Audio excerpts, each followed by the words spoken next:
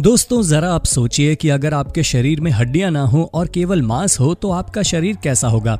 आपकी शरीर की बनावट कैसी हो जाएगी? तो सोचिए, ऐसे में आज हम कंकाल से छुटकारा पाने जा रहे हैं। आपको अपनी हड्डियों की ज़रूरत नहीं है है ना?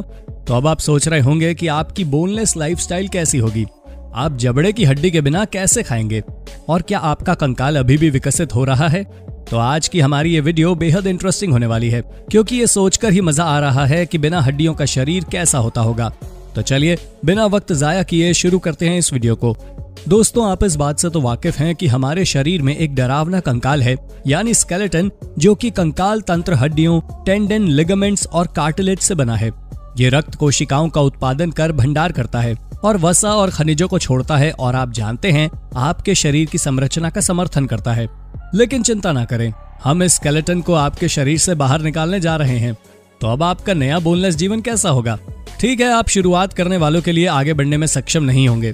क्या आप कभी पूरा दिन बिस्तर पर बिताना चाहते हैं? खैर, अब आप रोज कर सकते हैं।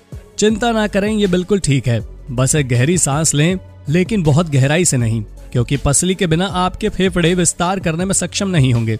हड्डियों के बिना आपको 24/7 वेंटिलेटर से जुड़े रहने की आवश्यकता होगी।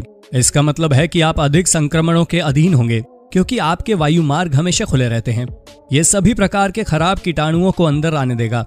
उदाहरण के लिए, एक सामान्य सर्दी जल्दी से निमोनिया बन जाएगी, लेकिन जब तक आप स्वस्थ भोजन करते हैं, तब तक आपको ठीक रहना चाहिए। आप अपने जबड़े की हड्डी के बिना चबा नहीं सकते। आपको ऑस्टियोपोरोसिस जैसी हड्डी से संबंधित कोई भी बीमारी नहीं होगी। साथ ही आपको कभी भी कास्ट पहनने के बारे में चिंता करने की ज़रूरत नहीं है। लेकिन क्या होगा अगर हड्डियों को नहीं हटाया गया? अगर हम हड्डियों के बिना विकसित हुए होते तो इसका मतलब ये हो सकता है कि हम कभी समुद्र नहीं छोड़ते और हम मानव जेलीफिश की तरह अपना जीवन जीते। शायद हम एक एक्सोस्केलेटन के लिए विकसित होंगे। फिर जैसे जैसे हम बढ़ते हैं, हमें बड़े एक्सोस्केलेटन को पिघलाने और विकसित करने की आवश्यकता होती है।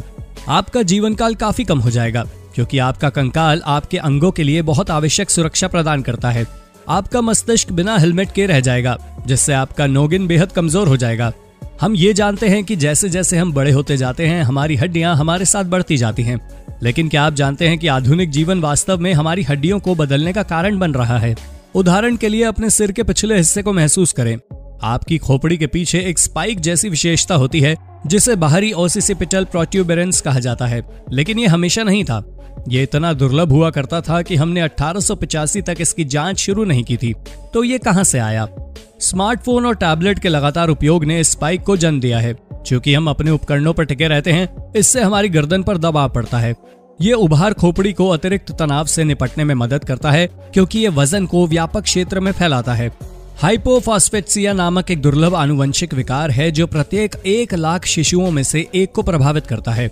ये एक ऐसा विकार है जिसके कारण आपकी हड्डियाँ गायब हो जाती हैं। इस विकार वाले मरीजों में शारीय फॉस्फेट नामक एंजाइम की कमी होती है। इससे उनकी हड्डियाँ बेहद नाजुक हो जाती हैं, इसलिए वो आसानी से टूट जाती हैं। शुक्र है आज तक डॉक्टर विशेष एंजाइम उपचार पर काम कर रहे हैं। ये हड्डियों को धीरे धीरे वापस बढ़ाने की अनुमति देते हैं, जिससे मरीज़ फिर से हिल सकते हैं। तो इससे हमें यही पता चलता है कि हमारे शरीर में हमारी हड्डियाँ बेहद ही महत्वपूर्ण हैं और हम बिना हड्डियों के ज़्यादा समय तक जीवित नहीं रह सकते। इसीलिए इसका होना बेहद ज़रूरी है। तो दोस्तों, आपको वीडियो अगर पसंद आई हो तो वीडियो को लाइक और चैनल को सब्सक्राइब करना ना भूलें। धन्यवाद।